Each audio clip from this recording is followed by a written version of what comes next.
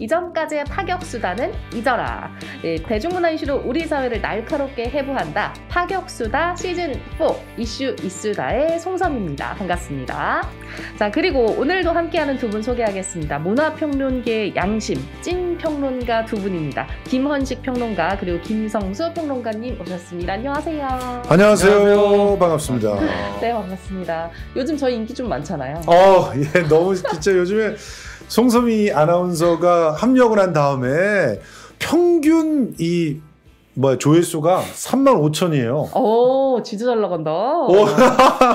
오. 예, 너무 감사합니다. 개딸들이 많이 사랑하는 것 같더라고요. 그렇습니다. 네, 너무 기분이 좋습니다. 자, 오늘 얘기도 아마 여러분들이 좀 재밌게 봐주실 것 같은데요. 오늘은요, 겉으로는 아카데미 시상식 얘긴데, 실제로 거기를 좀 들여다보면, 예. 한국에서만 가능한 이 사기질에 대한 얘기예요. 네. 우선은 김원식 평론가님이 이번 아카데미상 시상식에서 가장 좀 주목받았던 두 가지 이야기를 좀 해주세요. 사실 아카데미 시상식 하면은 작품상을 뭘 받냐 음. 이게 이제 관심 사안이 돼야 되는데 음. 화제거리가 된 거는 윤여정 씨하고 예. 저- 윌 스미스였어요. 예, 윤여정 씨 같은 경우에는 아무래도 미나리에서 이제 여우 조연상을 받고서 이제 시상자로 나와서 아, 그 자체가 화제가 되기도 했었지만은 수어로 표시를 했잖아요. 근데 그 수어로 표시한 것이 이제 그 수상을 받게 될 사람의 이름이냐, 트로이. 예, 트로이의 이름이냐 아니냐 이거 가지고 논방이 있었잖아요. 근데 그걸 이제 우리 국내 언론들이 그대로 이제 보도를 하는 바람에 네. 이게 이제 문제가 됐었죠. 이제 배우 이름이다 이렇게 얘기를 했지만 사실은 이거는 이제 웬만한 분들은 다 알고 있는 이제 수어인데 사랑합니다라는 뜻이잖아요. 어, 네. 예, 근데 그걸 언론이 그대로 이제 보도를 했는데 어, 일부에서는 또 윤여정 씨가 제대로 알지 못하고 수어를 했다. 음. 근데 윤여정 씨니까 뭐 일부 언론에서도 그냥 귀여웠다 이렇게 얘기를 했는데 사실 긴장하셨는지 손가락 마지막 새끼 손가락이 안 펴졌어요. 아, 펴져야 이렇게, 되는데 이렇게. 펴져야 되는데 그래서 이 나중에 보면은 또 제대로 하거든요. 음. 그렇기 때문에 뭐 윤여정 씨가 몰라가지고 제대로 표현을 못했다 이게 아니고 워낙 긴장을 했기 때문에 그래서 안 했고 이제 나중에 이제 다 예, 예, 제대로 했다라고 말씀드리겠고 두 번째는 윌 스미스였어요. 네. 사실 아내가 이제 약간의 이제 음, 머리에 이제 증세가 있어가지고 그걸 삭발했는데 예, 지아이조의 그 주인공처럼 삭발했다고 농담을 하는 바람에 처음에는 이제 윌 스미스가 자세히 보시면 그냥 넘어가요. 근데 와이프가 이제 얼굴이 정색하니까 바로 가가지고 이렇게 좀 때리는 폭행을 했는데 뺨을 올려쳤죠. 예, 근데 중요한 거는 그런 논란이 중요한 게 아니잖아요. 그렇죠. 언론의 보도의 그런 태도가 음. 굉장히 좀 미흡했다라고 생각이 들어요. 네. 저는 그러니까 이 두 가지를 퍼포먼스라고 저는 얘기를 합니다. 이게 의도됐건 의도되지 않았건 퍼포먼스가 일어난 거죠. 그런데 어, 윤여정 배우의 퍼포먼스 장면이 그 오스카상을 그야말로 역대급 그런 어, 대잔치 뭐 혹은 역대급 결단이 있게 된 놀라운 그런 성과 뭐 이런 걸로 만들어졌다면 어, 윌 스미스의 퍼포먼스는 미국의 현실을 정확하게 그냥 어, 그대로 보여준 오. 그런 퍼포먼스거든요. 그러니까 두 개가 다 의미 있는 퍼포먼스예요. 그걸 분석해 줘야 되거든. 근데 그런 분석이 전혀 없고 누리꾼들끼리 논쟁하는 것만 보도를 하는 우리 언론 너무 한심한 거예요. 이게 맞네 아니네. 그러니까 어느 쪽에선 혐오가 더 먼저냐 폭력이 더 먼저냐 이러고 얘기하고 있는 거예요. 혐오도 폭력이고 그 뺨을 때리는 것도 폭력이고 둘 다 폭력이잖아요. 그런데 그 중에 뭐가 더 낫냐 이걸 얘기할 필요가 없는 거죠 사실은. 맞아요. 중요한 것은 이 어, 아카데미가 올해 의도하려고 했던 게 뭔가. 그래서 전 세계에 던지려고 하는 메시지가 뭐였던가. 그런데 그, 주, 그 윤여정 배우는 그 메시지를 어떻게 음. 연출을 해냈는가. 본인 스스로가 어떻게 연출을 해냈는가 이거예요. 싸대기나 둘 다 폭력은 폭력이란 말이에요. 네. 이게 뭐 어디가 뭐 더 나으냐 마- 많으냐 이런 논쟁보다 더 중요한 것은 아카데미라고 하는 그런 시상식이 전 세계에 어떤 메시지를 던지려고 했었는데 그것을 윤여정이라고 하는 사람은 즉흥적으로 뭘 연출해내서 음. 사람들을 감동시켰는가 이런 것들을 분석해야 되고 또 윌 스미스는 실제로 그 자리에서 그런 행위를 했던 것 자체가 나름대로는 계산됐다고 볼 수밖에 없거든요. 네. 무슨 뭐 감정을 갖다 자기가 컨트롤 전혀 못- 하지 못하는 그런 사람이 아니잖아요. 근데 거기 가서 대배우인데. 그렇죠. 거기 가서 내가 그렇게 뺨을 때려야 되겠다라고 생각을 했던 이유와 그걸 통해서 알린 메시지가 있단 말이에요. 그러면 그 메시지들을 정확히 분석해서 음. 이게 어떤 의미였고 전 세계엔 또 어떤 영향력을 끼쳤는지를 설명해 줘야 되는데 그게 없어요. 그러면서 지금 윌 스미스가 났냐 이런 것만 얘기해서는 그게 언론의 구실이 아니라는 거죠. 그렇죠. 그래서 지금 이 한국 언론이 못하는 일을 네, 저희는 하잖아요. 그렇습니다. 김성수 TV의 파격수다는 그 일을 해냅니다. 지금부터 94회 아카데미에서 도대체 무슨 일이 일어났나 좀 분석을 좀 해드리겠습니다. 우선은 올해 아카데미가 큰 일을 해냈다고 하는데 어떤 일인지 좀 소개 좀 해주세요. 어, 일단 지금 아카데미가 그 글로, 골든 글로브하고는 이제 다른 길을 계속 가고 있는 맞습니다. 상황이거든요.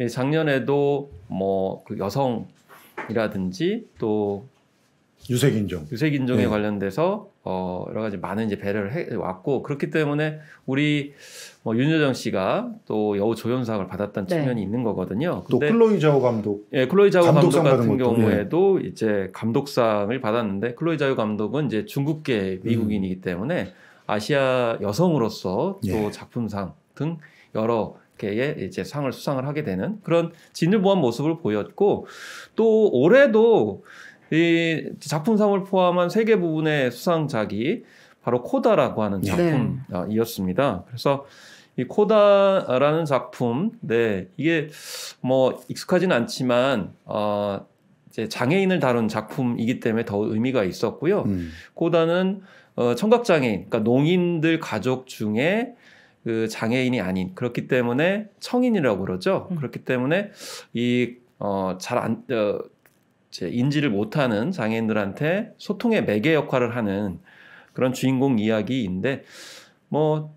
뭐 이따 자세히 말씀을 하시겠지만은 네. 이제 그런 이제 장애인의 이야기를 다룬 작품을 상을 줬다라는 어. 점이 큰 의미가 아, 있다고 생각이 듭니다. 그리고 또 최초로 OTT 영화인데 작품상을 줬잖아요. 사실 OTT 영화에 음. 관련돼서는 어, 넷플릭스하고 애플 TV 플러스가 이제 일종의 치열한 경쟁을 벌였어요. 그 그렇죠. 리고 지금 흐름을 보면은 넷플릭스가 올해에 그래도 오스카의 OTT 영화라도 최초로 작품상을 받게 될 것이다라고 생각을 했는데 맞아요. 그 영광은 이제 애플 TV 플러스에 돌아갔죠. 근데 음. 사실 우리가 넷플릭스 작품을 많이 다뤘는데 예, 애플 TV 플러스가 반격을 시도를 했고 그게 정확하게 먹혔어요. 맞습니다. 그러니까 양보다는 질인데 넷플릭스가 지금 한 그 독자적으로 가지고 있는 오리지널 컨텐츠가 부지런히 해가지고 한 4천 편 된다고 그러거든요. 근데 애플 TV 플러스는 70편밖에 안 되고 네. 점유율도 애플 TV가 5% 그리고 이제 넷플릭스가 25% 되는 상황 속에서 양보다는 질에 초점을 맞췄고 음. 작품성에 초점을 맞추다 보니까 저는 코다가 이렇게 상을 받게 됐고 네. 또 이제 나중에 다룰 우리가 다뤄볼 파친코 같은 경우에도 성공하지 않았나. 맞습니다. 음. 그래서 이 의미가 무엇인지를 좀 또 나중에 아, 상세하게 분석할 필요가 있을 네. 것 같습니다. 이전에 말씀해 주셨는데 김성수 평론가님이 그 노미네이트 노미네이트 된 편수도 차이가 좀 있다고. 맞아요. 실제로 그 넷플릭스는 21편, 그러니까 21개 부분을 네. 그 노미네이트를 시킨 거죠. 어, 후보가 21명이 나온 거예요. 근데 어, 애플 TV 같은 건 6개 부분이거든요. 어, 확실히 차이가 크네요. 그런데 애플 TV는 6개 부분 노미네이트 시키고 3개를 가져갔고 와, 그리고 넷플릭스는 21개 노미네이트 시키고 하나 가져갔어요. 아 차이가 크- 많이 크네요. 그렇죠. 그러니까 어, 양보다 질이었다 이런 음. 얘기 나올 수 있는 거고 또 HBO 같은 데도 사실 케이블 TV 중에서 이것도 역시 OTT로 지금은 분류를 하고 있는데 어, 정말 그쪽에 짱이거든요. 그런데 HBO 같은 경우도 이번에는 뭐 충분히 가져가지 못했어요. 어, 오히려 워너브로더스 그 맥스인가 뭐 이쪽에서 또그 성취를 보이고 그래서 작품적으로 보면은 이 OTT의 춘추전국 시대가 시작됐다 음. 이렇게 볼 수 있게 된 그런 어, 시상식이었고 네. 또 OTT가 이제 주류다라고 하는 걸 보여준 시상식이었어요. 어, 그런데 네. 이 코다가 진짜 의미 있었던 이유가 일단 제가 생각하기에는 코다는 아카데미 작품상을 받지 못할 세 가지 이유를 갖고 있었어요. 오. 첫 번째가 가족 이야기를 다루고 있는 소품이에요. 그러니까 보통 그 아카데미에서 상 받으려면 막 대하 사극 같은 거 이런 거만 뭐 레버넌트 뭐 이런 거 삐까번쩍 해야죠. 예, 아, 삐까번쩍 정도가 아니라 일단 기본적으로 뭐 매덕도 들어가고 역사적 그렇죠. 역사적인 얘기, 뭐 특히 미국의 어떤 아주 역사, 뭐 네. 전쟁, 뭐 대하 사극 이런 걸 갖다 그려야 되거든요. 근데 가족 이야기를 다룬 소품이니까 눈길을 잘 못 끌었죠. 소소하고. 그래서 이제 후반부에 가서 치고 올라갔는데 그게 애플 TV의 전략이었죠. 그리고 OTT 오리지널 영화였기 때문에 받기가 또 힘들었고 네. 칸에서는 아직도 OTT는 작품상 안 줍니다. 음. 그리고 프랑스 영화인 미라클 벨리에라고 하는 작품을 리메이크한 거예요. 자, 이, 일단 원작 소설이 있어요. 그리고 원작 소설을 영화한 원작 영화가 있어요. 그걸 다시 리메이크한 작품이 에, 제가 알기로는 최초인 것 같아요. 오. 그런 그런 작품이 받은 그 작품상으로는 우리 기생충이 예전에 작품상 받았던 거 보면은 오리지널 시나리오라고 하는 게 아주 높이 평가돼서 작품상을 그쵸. 받지 않았습니까? 그거에 정 반대되는 선택을 한 건데 각색이 그만큼 기가 막히게 됐다는 거고 그리고 이, 이런 장벽들을 넘어설 만큼 코다가 미국에 주는 메시지가 묵직했던 거다. 음. 이렇게 우리가 분석을 해야 되는 거죠. 네. 어, 그럼 김현식 평론가님이 코다라는 작품에 대해서 조금 더 자세히 첨언을 해주신다면요. 네, 미라클 벨리에라는 작품을 이제 리메이크한 작품이고요. 그래서 사실 우리가 장애인을 다룰 때 좀 조심해야 될 게 있는데 네. 이제 장애인을 어떤 불쌍한 존재라든지 동종과 배려 대상으로 여기는 걸 주의를 해야 됩니다. 그래서 그 동안에 뭐 장애를 다뤘다 그러면 주로 그런 입장에서 많이 못 벗어났었어요. 네. 맞아요. 근데 이 작품은 장애인 가정의 이야기를 하고 있고요. 그 다음에 장애인 가족에서 농인들, 그러니까 청각장애인 부모와 그리고 이 청각장애인이 아닌 그 자녀인 어, 루비의 이야기를 다루고 있는 거죠. 음. 그런데 현실적으로 굉장히 고민이 되는 거예요. 왜냐하면 청각장애인 부모와 함께 살고 있는 자녀들은 고민이 많아요. 어, 물론 이제 대부분은 장애를 갖고 있는 자녀와 부모의 얘기가 많지 네.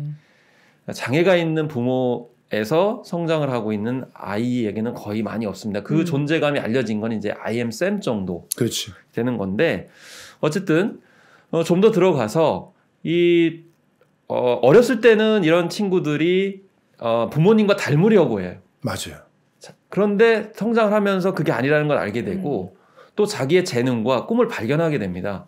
그러면은 자기의 꿈을 찾아서 가야 돼요. 음. 마찬가지로 이 루비에게는 정말 노- 뛰어난 노래 실력이 있었던 것이죠. 음. 어, 그래서 어, 오디션을 볼 수 있는 그런 좋은 기회까지 있고 그걸 이끌어 준다라고 하는 어, 그런 사람들도 나타나요. 그렇죠. 그런데 자기가 그렇게 가버리면 부모님은 어떻게?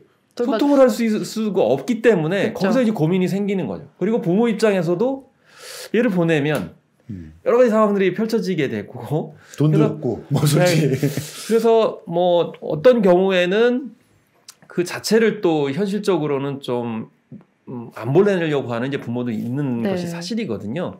그런 문제들을 굉장히 디테일하게 다뤘기 때문에 겉으로 그냥 장애인을 뭐 사랑한다, 배려한다 음. 이런 작품하고는 굉장히 차원이 다른 장애인 중심의 그런 음. 영화이기 때문에 그걸 또 잘 그려냈기 때문에 작품상을 받았다라고 볼 수가 있는 거죠. 여기서 저는 영화 빌리 엘리어트가 어, 음. 떠올랐거든요. 왜냐하면 영국 광산촌의 노동자들 사이에 특별한 애가 하나 있는데 네.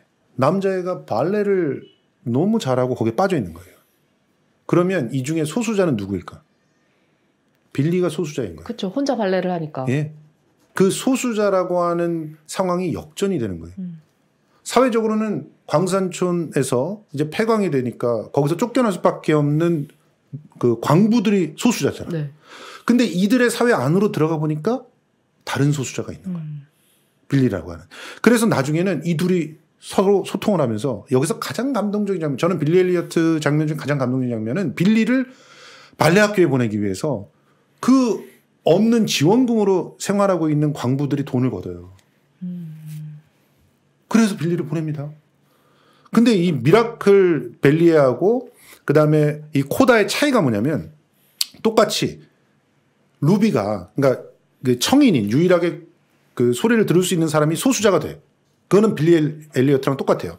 근데 미라클 벨리에 같은 경우는 그런 어떻게 보면은 억압과 싸워서 자기가 성장을 딱 해. 음. 독립을 해요. 근데 이 코다라고 하는 얘기는 그 해결책이 좀 다른 거예요.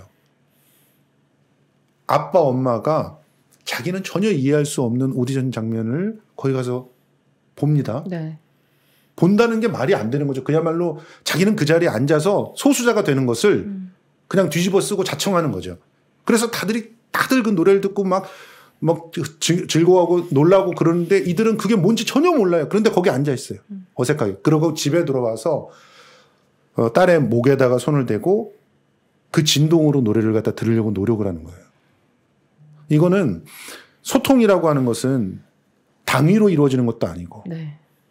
뭐 어떤 조건이 갖춰진다고 해서 이루어지는 것도 아니고 결국은 주체들의 의지로 이루어지는 것이다. 음. 이런 얘기를 감동적으로 보여주는데요. 이 반전이 사실은 우리한테 큰 울림을 주는 거예요. 이 반전을 통해서 어 진짜 이 시대가 특히나 미국 사회 보세요. 5만 가지 잡것으로 다 갈라져 있지 않습니까? 특히 트럼프라고 하는 인간이 엄청나게 그 갈라치기를 해놔서 네. 4분 5열 정도가 아니라 막 온갖 다 것들로 다 찢어져 있잖아요. 근데 여기서 가족을 먼저 세우고 그리고 그 세워진 가족끼리의 기득권 내려놓기를 통해 가지고 소통을 회복하지 않으면 우리는 못 산다. 이런 얘기를 하고 있는 영화거든요. 그래서 지금 미국인에게 가장 필요한 시대 정신이 담겨 있는 영화라고 생각을 했던 거고 그걸 애플이 발견을 해가지고 썬댄스에서 딱 발견해가지고 어마어마한 돈을 들여서 사고 그걸 가지고 아카데미 레이스에서 결국은 승리를 한 거거든요. 아, 애플 TV 참 장단점이 있는 게 애플 TV가 참 잘 찾아냈다라는 그렇죠. 생각이 들면서도 예. 꼭 봐야 할 영화인데 애플 TV라서 못 본 분들도 분명히 있을 거란 말이에요. 예. 근데도 윤여정 배우가 이 작품의 의미를 즉석에서 또 시상을 하면서 극적으로 연출을 해서 화제가 됐어요. 아까 잠시 맞습니다. 또 김원식 평론가님이 얘기를 해주셨지만 좀 더 자세히 풀어주신다면 어떤 내용이 있을까요? 뭐 시상소감에서 이런 얘기를 했잖아요. 사람은 뿌린 대로 거둔다 이런 얘기를 했는데요. 음. 어 사실 음, 생각해 볼 게 있었는데 작년에 어, 윤여정 씨가 자기의 윤여정이란 이름을 음. 외국인들이 잘 못 부른다 네. 맞아요. 이렇게 얘기를 했는데 어떻게 보면 우리 입장에서는 당연한 지적이라고 할 수도 있잖아요. 그렇죠. 근데 자기가 이번에 시상자로 와서 발음을 해보려고 하니 이게 쉽지가 않더라라는 것이죠. 그래서 이게 빵 터져서 사람 아, 막. 웃고 막 그랬어요. 정말 유머와 위트가 대단하신 분이라고 생각이 드는데 사실 아까 말씀하신 것처럼 어, 코다든 미라클 벨리에든 상대적 입장에서 이제 역지사지를 해보는 거거든요. 예. 뭐좀 더 부연 설명을 드리면 우리는 흔히 장애인이 뭐 절대적인 약자라는 프레임에 있지만 그 안에 더 들어가면 장애인 가족이라는 또 예. 어, 프레임 안에서 보게 되면은 이 루비라고 하는 또 자녀가 약자일 수도 있는 거잖아요. 네. 그렇죠. 그런 약자적 상대성인데 거기서는 상대성이라는 게 더 깊이 들어가면 그렇다고 해서 부모님이 악인도 아니에요. 그럼요. 예. 소통의 어떤 구조라든지 방식들이 이제 다른데 음. 그것이 이루어지지 못하는 거죠. 보고 있는데 노, 어, 노래를 보고 있다. 그 진동으로 느끼는 것을 제대로 해줬다 그러면 아마 그런 오해는 없었을 거라고 그렇죠. 생각이 들어요. 그래서 사실 봉준호 감독이 1인치의 장벽이라는 얘기를 했듯이 자막이라는 아, 그런 걸 얘기했듯이 결국에는 소통을 어떻게 할 거냐, 어떤 음. 수단을 가질 거냐, 그리고 그게 부족했을 경우에는 어떻게 우리가 그거를 찾아갈 거냐를 이야기를 해줘야 되는 거거든요. 그런 상황, 특히 어, 지금 현재 뭐 푸틴의 그런 태도라든지 우크라이나의 그런 태도들 이런 것들이 또 소통의 어, 그런 연원을 생각할 수가 있다고 생각이 들고 예, 그런 그 전반적인 이야기를 윤여정 씨 마지막에 수화를 통해서 또 한 번 다시 이렇게 보여주거든요. 그래서 이 수화라는 것도 결국 소통의 문제이기 때문에 그런 퍼포먼스는 처음부터 어, 선한 영향력을 염두하고 음. 윤여정 씨가 잘 보여줬다 이렇게 저는 생각이 듭니다. 그러니까 요 구조를 조금 더 이해를 해야 제대로 된 논평이 가능하다고 보는데 우리나라 언론은 또 그 수어를 제대로 했느냐 안 했느냐 손가락이 펴졌느냐 안 펴졌느냐 이거 갖고 따졌잖아요. 난 굉장히 천박한 그 저널리즘이라고 생각해요. 뭐가 중요한지를 모르는 것 예. 같아요. 자, 일단 판을 판을 갖다가 어떻게 깔았느냐? 아니 내가 작년에 이런 말을 해서 우리 어머니가 말했던 뿌린데도 거른다는 걸 내가 당하고 있다. 그렇죠. 그러면서 내가 이제는 발음을 제대로 못하면 내가 했던 지적질 그거에 대해서 내가 지탄을 받게 된다는 음. 얘기를 먼저 깔아놔요. 깔아놓고 나서 바로 그 다음에 수어를 그 서투르게 수어를 하는 거예요. 서투를 수밖에 없죠. 음. 수어를 처음부터 배운 사람도 아니고 자신의 언어가 아니었잖아요. 자기 자기 언어가 아니에요. 음. 근데 이 순간 수어가 외국어가 되는 겁니다. 그 반전을 윤여정이라는 사람이 단독으로 연출해낸 거예요. 음. 수어가 배려가 아니라 외국어 배우듯이 당신네들도 배워야 된다는 거를 몸으로 가르쳐 주는 거예요. 그러니까 이게 갖고 있는 울림이 굉장히 크니까 사람들이 처음에는 어, 왜 저러지? 아, 저거 수어였나? 헉! 일어나서 기립박수를 보내는 거거든요. 빠르게 이해를 못했다가 그렇죠. 순간적으로 감동을 받는. 그리고 누구나 다 알아. 그게 서투르게 수어를 했어도 수어를 하는 순간 트로이가 받는다는 것을 다 알아요. 음. 카메라도 거의 그 찾아 들어가고. 그런데 사람들 마음속에 먹먹하게 뭐가 남아있냐면 저 나이든 여배우가 어? 자기의 과거를 반성하면서 내가 또 누군가를 소주자로 만들어서 그 사람의 그 언어를 제대로 잘 표현하지 못함으로써 그 사람을 또 불편하게 만들 수 있다는 사실을 고백을 먼저 하고 네. 이걸 보여주니까 이건 서투르게 한- 하는 게 오히려 맞지. 음. 제대로 능수능란하게 하면 안 되는 거죠, 아니, 오히려. 그리고 사실 이 얘기를 듣고 나면 빌드업이 상당히 잘 된 거거든요. 맞아요. 기가 막힌 빌드업을 한 거예요. 이걸 아마 그 연, 그 아카데미상 시상식을 연출한 사람이 깜짝 놀랐을 거예요. 음. 연출해도 안될것 같아요. 연출해도 안 돼요, 이게. 이걸 해낸 거예요. 그러니까, 어, 이걸 정말 문명이라고 말할 수 있는 거 아닙니까? 네. 우리가 상대의 언어를 언어 그대로를 존중해주고 음. 그리고 서로가 서, 서투르거나 모자란 부분이 있더라도 그것을 관용으로 이해해 주는 것이 바로 문명인 거죠. 음. 근데 우리나라에서는 어떤 일이 벌어졌는지 생각해 보세요. 음? 장애인들은 이동하는 것 자체가 남한테 불편을 주게 돼 있어요. 왜냐하면 비장애인들에게 맞춰서 모든 이동 행태들이 갖춰져 있기 때문에 그 사람들은 그냥 일상적으로 출근을 해도 바퀴가 지하철과 승강장 사이에 걸려서 시간이 걸린다니까요. 그래서 지하철이 못 가는 거일 뿐이에요. 그런데 이 나라에 이제 곧 수권을 하게 된 당의 대표라고 하는 작자가 비문명적으로 그걸 방해하고 있어 피해를 주고 있다. 이런 거를 조건 없이 걷어치워야 내가 얘기를 들어주겠다라고 하잖아요. 이게 소통입니까? 그러니까 이게 완전히 대별되는 상황이 보여진 거죠. 네. 윤여정의 품격이 진짜 모든 대한민국의 품격이 되기를 바라는 마음에 진짜 드리지만 저런 사람은 정치를 하면 안 되는 거죠. 네. 저도 윤여정 배우님의 모습이 누군가와 비교돼서 더 성숙하게 느껴지더라고요. 맞습니다. 예. 제가 이렇게 설명을 듣고 나니까 더 인상적이라는 생각이 드는데 또 하나의 장면이 있었죠. 윌 스미스의 폭행 장면. 예. 이건 또 어떻게 보셨는지 설명 좀 해주세요. 아, 사실 참 물론 뭐 아까 말씀하셨듯이 폭행 그 자체는 정당화될 수가 없는 네. 것이죠. 그래서 물론 그것이 윌 스미스가 나름대로 기획을 해가지고 한 퍼포먼스다 이렇게 이제 말씀을 하셨는데 어 저는 어쨌든 크리스 록이 잘못했다고 생각을 합니다. 네. 맞아요.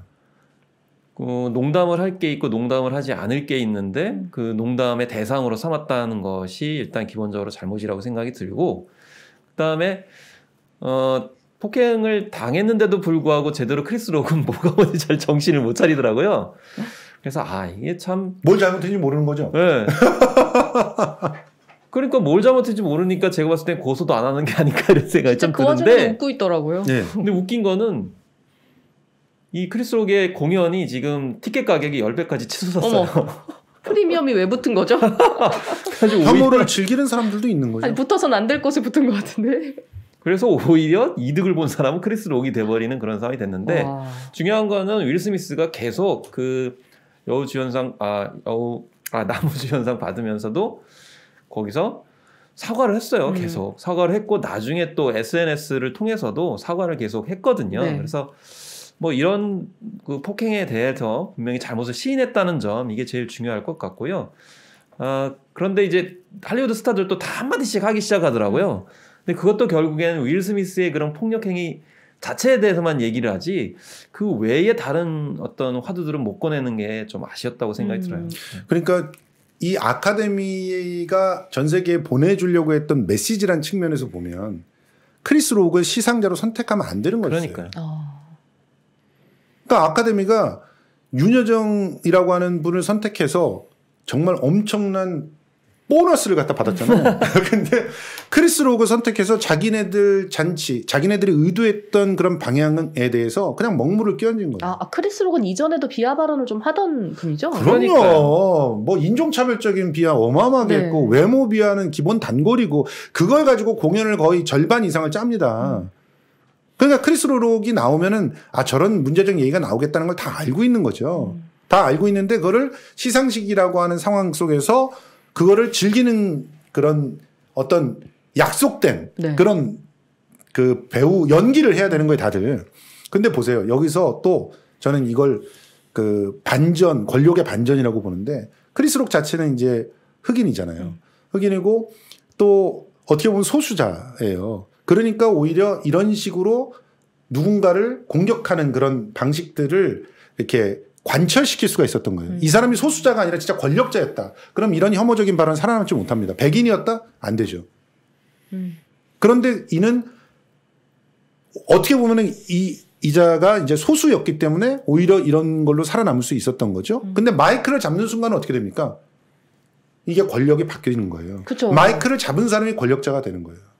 그걸 누가 제지합니까? 이, 이런 부분을 보여준 거예요. 기가 막히게. 음. 그러니까 윌 스미스는 자기가 선택할 수 있는 게 그 마이크를 뺏는 수밖에 없는 거고 그래서 가서 이제 뺨을 때리는 그런 즉흥적인 연기를 했다고 저는 보거든요. 음. 그래 그게 폭력이기 때문에 잘못됐다고 얘기를 했지만 우리 이제 다시 돌아와서 음. 우리 상황으로 또 보면 자 이런 혐오 발언들을 막 하면서 장난이었다, 농담이었다는 사람들이 우리나라에도 굉장히 많아요. 네. 대표적인 집단이 일베예요. 그리고 또 여기에 뭐 워마드 같은 친구들도 그런 혐오들을 막 하고 이거 미러링이라고 얘기를 해요. 네.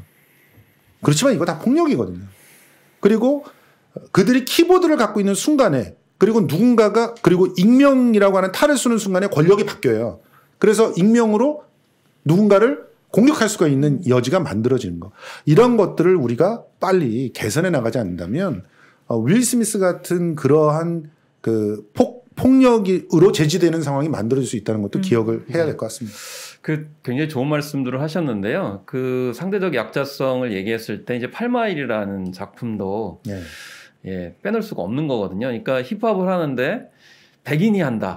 음. 그럼 사실 약자가 되는 거고 거기서 이제 굉장히 또 폭력에 시달리는 상황이 네. 벌어지거든요. 근데 크리스록 말씀을 잘 하셨는데 어 사실 그 똑바로 살아라. 아, 그래서 스파이크 리 감독의 작품을 보면은 거기서 그 좀 차별받고 억압에 시달리는 그런 흑인들이 나중에 폭력적인 행위를 해가지고 음. 특히 이제 한인들이 엄청나게 피해를 맞아요. 봐요. 네. 그 장면 나와요. 그래서. 유색 인종인데 그 아시아계한테는 흑인들이 굉장히 폭력적으로 대하고 심지어 LA 폭동까지 일으키거든요. 예. 그래서 약자적 위치라는 것에서 그 피해를 권력화하는 그런 현상들이 분명 존재하고 스파이크레 감독도 그 똑바로 살아라에서는 흑인들을 옹호하지 않아요. 음. 그냥 그대로 보여주거든요.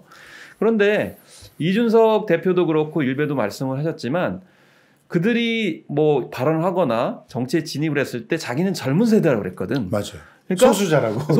대변당하지 못하는 사람들이라는 거거든요. 예. 그러면 똑같은 그 젊은 세대인 여성들한테 어떻게 했으며 그리고 어 자신들이 주목을 받지 못하는 약자성이다 그러면 장애인들한테는 어떻게 했느냐라는 음. 거죠. 그렇죠. 그래서 우리가 정책을 바라볼 때 지적을 해야 되는 게 이순덕 대표가 얘기한 게 그거잖아요. 예산 그거 다 이미 배정이 되고 그런 건데 왜 그걸 다시 구시, 구실을 붙여가지고 문제 제기를 하는 거냐. 아니 예산 몇 푼 가지고 정확하게 하려고 정치를 합니까? 유승민 씨하고 똑같은 거예요. 그렇지. 그러려면 그냥 회계나 하지 왜 정치를 해요? 그렇지. 정치는 왜 필요해?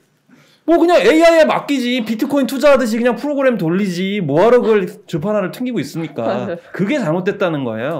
자 소수자 약자를 대변한다는 그 몫으로 들어가서 결국에는 다른 소수자와 약자들 위해서 군림하려고 음. 하는데 그 도구가 주판알이다.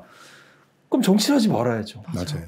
이제 그런 맥락에서도 이런 걸 볼 수 있다. 그래서 크리스 록의 그런 행동은 이미 흑인이지만 어떻게 보면 문화 권력자이고 음. 지배자이기 때문에 그런 태도들을 할 수 있었고 결국에는 말씀하셨듯이 아카데미도 뭘 칠하게 되는 봉준호 감독과 윤정현 씨가 열심히 그거를 잘 만들어주면 뭐합니까? 그거에서 이렇게 치러가는데 어? 지금 결국에는 유색 인종인 윤여정 씨가 가서 좋게 만들어준 거를 지금 유색 인종 분들이 지금 망치신 거잖아. 그렇죠.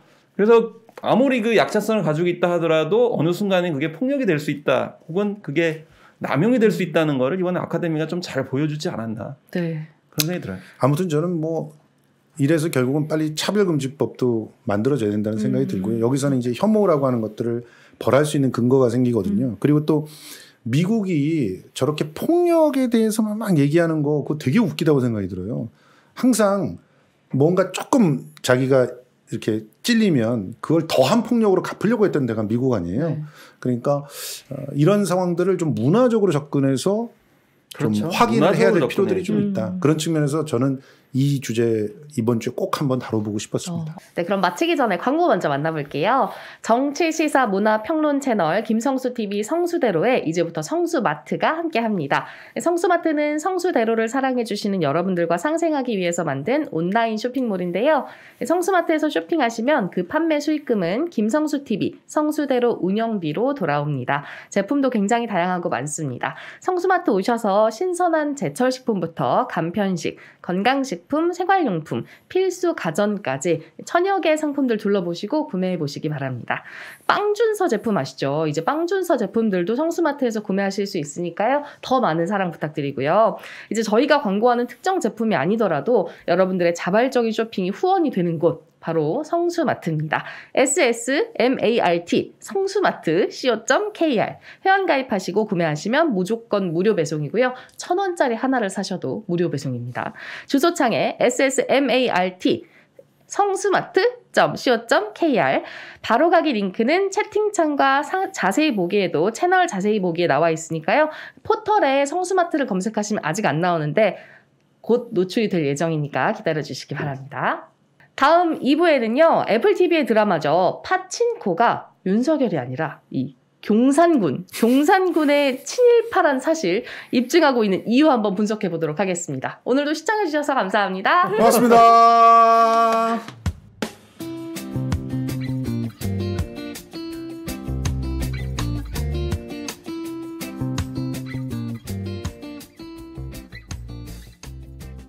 오늘 방송 어떠셨나요? 방송에 대한 의견과 댓글들 많이 많이 남겨주시고요. 좋아요와 구독도 부탁드립니다. 이상 유지연이었습니다.